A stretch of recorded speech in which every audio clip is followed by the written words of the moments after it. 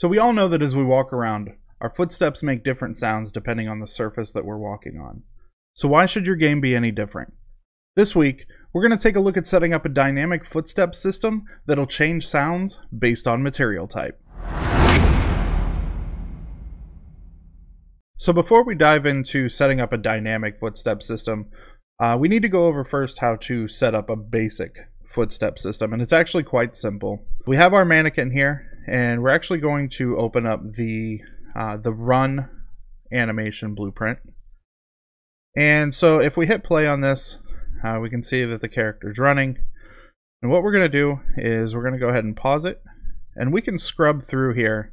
And what we're looking for is the moment that the foot touches the ground. So once we found where our foot touches the surface, uh, we can go ahead and right click here on our notifies and under uh, add notify, we're going to go ahead and hit play sound. And if we click on that notification, we do get our animation uh, notify window that pops up here. And we can just come in here. Now I've already set up some sound cues uh, for some different footsteps. So for example, uh, we have a dirt footstep and we can go ahead and click on that. And we're to scrub through here again to find where the next uh, footstep hit happens which is about here, and we're just going to do the exact same thing. Click on that, and we're going to go back with our dirt. And that's all there is to it for setting up basic um, footstep sounds. So if we save this and move this out of the way, now when we hit play and we walk around,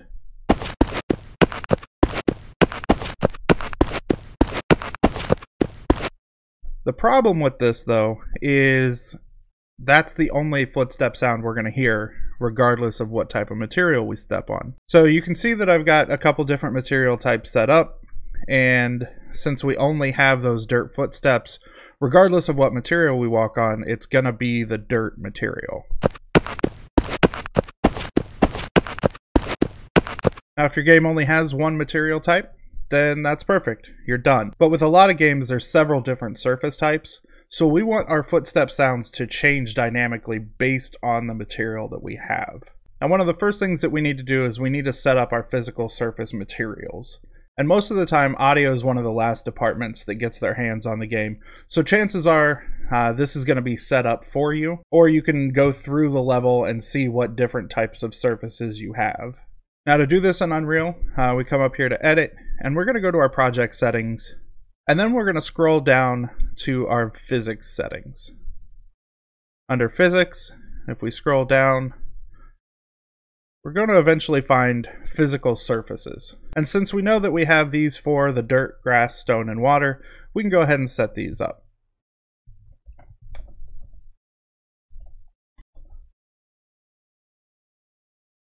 And once we've got our four material types set up, uh, we can go ahead and close this window. Now, before we're able to dive into the audio portion, we first need to set up a system that's going to detect what type of surface that we're on. So in order to do this, uh, we need to open up our third person uh, animation blueprint. And it's important to note that this has to be the third person animation blueprint. If you try to do this in just the third person blueprint or the level blueprint system, uh, you're not going to get the right nodes that pop up. So that's why we're in the third person animation blueprint. And the first thing that we need to do when we set up our material type detection is what we want to do is we want to draw an invisible line from the center of the character straight down. And we're going to do this by doing a line trace by channel.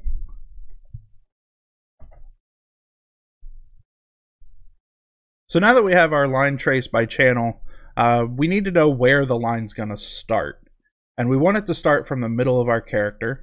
Uh, so we're going to go ahead and we're going to right click and we're going to try and get the pawn owner. And from our pawn owner, we're going to get its location.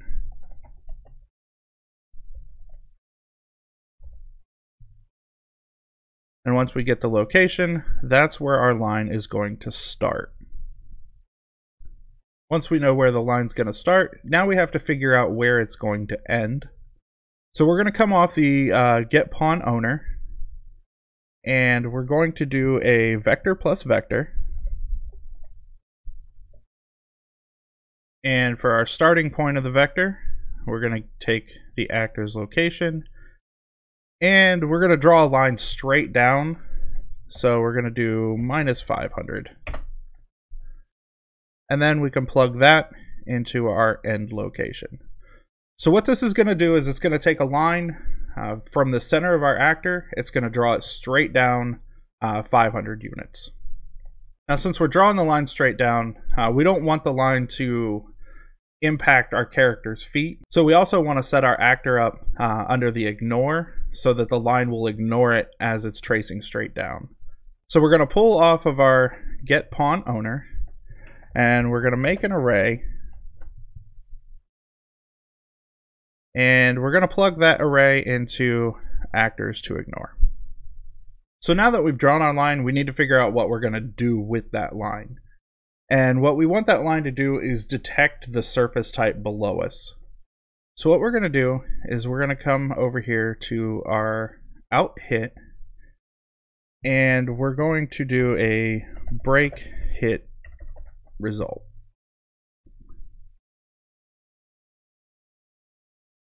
And we also want to come out of our out hit and we want to get surface type.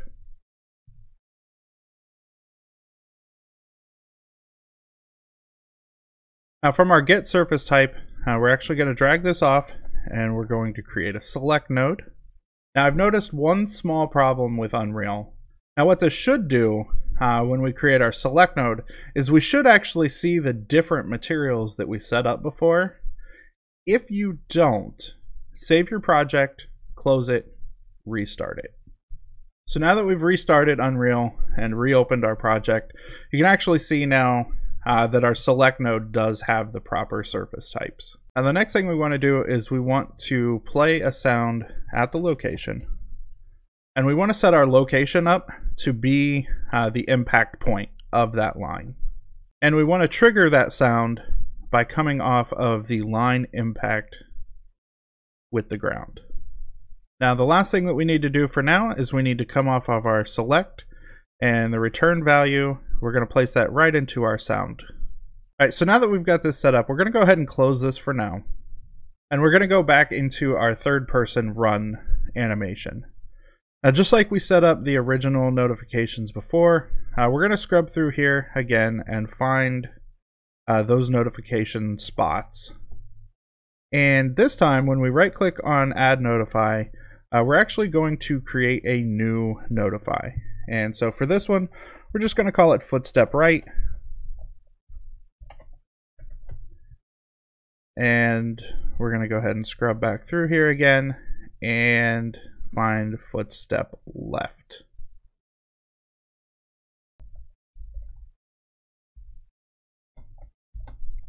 So now instead of playing a sound at that location, uh, every time it goes through this in the animation, it's going to trigger that notify.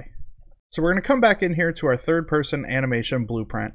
And if we right click and just start typing footstep, uh, you can actually see that we already have our animation notify events that we just created. And we're going to go ahead and create one for each of these. So we've got our footstep right and footstep left. And we're going to plug both of these into our line trace by channel. Now to make sure that this is working properly, uh, what we can do here is uh, we can test this. We're going to come into our draw debug type and uh, we're just going to put for duration because if we drop down, uh, we'll see that the draw time is set to 5 seconds. And if we compile this and then go back into our level and hit play, what we're going to see is now every time one of those notification events happen, it's actually going to draw the debug lines. So we can see where the line comes down and we can see the block for the impact point. Now the last thing that we need to do for this blueprint setup is we need to come over here to our select and we need to tell it what sounds to play when it detects each of these assets. I've already created the sound cues for our different footstep types for the dirt, grass, stone, and water. And all we need to do is we need to go in here to our select node and we need to place those under the respective surface types. So we'll come under dirt and type dirt. I've got the footstep dirt, same with grass, stone, uh, which I've actually set up as gravel because uh, I didn't have any stone assets. And lastly, water. Now we can go ahead and close our animation blueprint because we're done with it. So now that we've got our line trace set up, we need to create the physical assets so that our materials know what type of physical material they are. So in my content browser, uh, we're going to right click and we're going to go down to physics and we're going to create four different physical materials. Now that we have these four physical material assets created, uh, we need to open them up and we need to go under the physical properties and set them to their respective materials. So now that we have our four physical assets created, we actually need to tie them to the materials. And we can do this by clicking on our different materials and opening up the material type. So I'm going to click on our water. We're going to open up the water material. And over here on the left, you're going to see a physical material. So we can go in here and assign this water. Next we'll do stone. Now our grass. And lastly, our dirt. So now that we've given our materials a physical material type and we've linked them to the sounds that they're playing, we've also linked it to the breakpoint that's detected by the line trace. Now we can come in here and hit play. And as we walk on these different materials, we should now hear the different materials play. So we've got water, we've got stone, we've got grass, and we've got dirt. Now at this point you might be thinking to yourself, okay, well that's great if I'm applying a material to an actual object or a block, uh, but what if I want to actually get into sculpting my own landscapes and doing terraforming?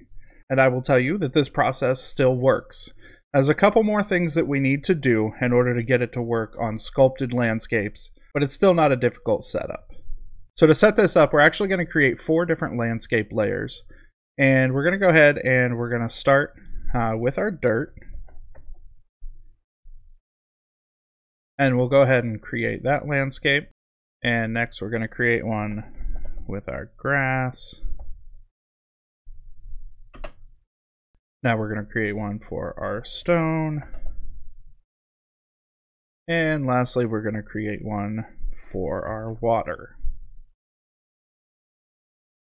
Alright, so I'm not actually going to terraform an entire scene. I'm just going to create little mounds. And so I'm going to make a mound for our dirt. Select our next landscape. There's going to be our grass. There's going to be our stone. And lastly, defying physics is our mound of water. Now, just like we did with the material types, uh, we're going to go ahead and we're going to click on our mound of dirt here. And under our details pane, uh, you can see that we've got a uh, physical material type. And so we're going to go back and just like we did for the materials, uh, we're going to set these for the layers. We're going to go ahead and call this dirt. We're going to call this grass. our stone, and our water. So now that we've set up our physical materials to each layer, uh, we can go in here and hit play. And just like we hear with our different material types, we can now come over here to where we've terraformed our landscapes and we'll hear the exact same thing.